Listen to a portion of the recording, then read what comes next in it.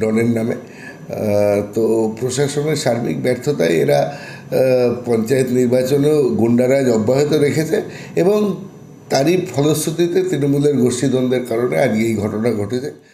এলাকার আইন, আইনের শাসন প্রতিষ্ঠায় প্রশাসনের নজর নেই।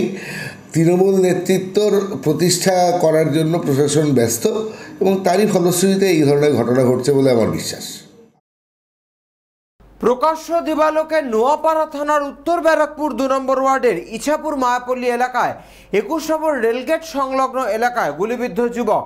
আহত যুবক রবীন দাস ওরফে ডন, বয়স তেতাল্লিশ। ব্যারাকপুরের একটি বেসরকারি হাসপাতালে চিকিৎসাধীন। যদিও গোটা বিষয় নিয়ে তৃণমূলের অন্তর্দ্বন্দ্বের তথ্যই সামনে আনলেন বিজেপির ব্যারাকপুর জেলার বিজেপির সভাপতি সন্দীপ ব্যানার্জি। তিনি বলেন, আমি জানি রবিন ওরফে ডন এলাকায় দুষ্কৃতীরা চালাতো। তার বিরুদ্ধে একাধিক কেস রয়েছে পুলিশের খাতায়। পুলিশের নিষ্ক্রিয়তার জন্যই শিল্পাঞ্চলে এইসব ঘটনা ঘটছে। তিনি পরিষ্কার জানান, তৃণমূলের অন্তর্দ্বন্দ্বের ফলেই এই ঘটনা ঘটেছে। হ্যাঁ প্রকাশ্যে দিবালোকে গুলিবিদ্ধ ঘটনা। তৃণমূল কর্মী এবং এলাকার প্রখ্যাত দুষ্কৃতী তৃণমূল আশ্রিত হারমাদ ডন নাম রবিন ভালো নাম, কিন্তু এলাকায় পরিচিতি সবাই জানে ডন নামে।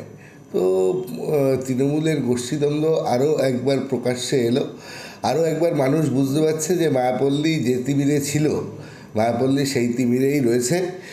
প্রশাসনের সার্বিক ব্যর্থতা, তো এই ধরনের প্রচুর কেস রয়েছে বিভিন্ন কারণে ডনের নামে।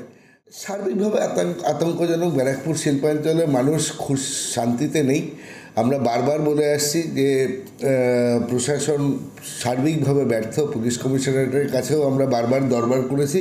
প্রশাসন নির্বিকার অ্যাকচুয়ালি নেতা নেত্রীর অঙ্গুলি হিলনে প্রশাসন চলছে, তো সার্বিকভাবে এলাকায় শান্তি প্রতিষ্ঠা কিংবা এলাকার আইন, আইনের শাসন প্রতিষ্ঠায় প্রশাসনের নজর নেই। তৃণমূল নেতৃত্বর প্রতিষ্ঠা করার জন্য প্রশাসন ব্যস্ত এবং তারই ফলশ্রুতিতে এই ধরনের ঘটনা ঘটছে বলে আমার বিশ্বাস। শ্যামনগর থেকে Himadri Shekhar ভট্টের report, channel twenty four by seven.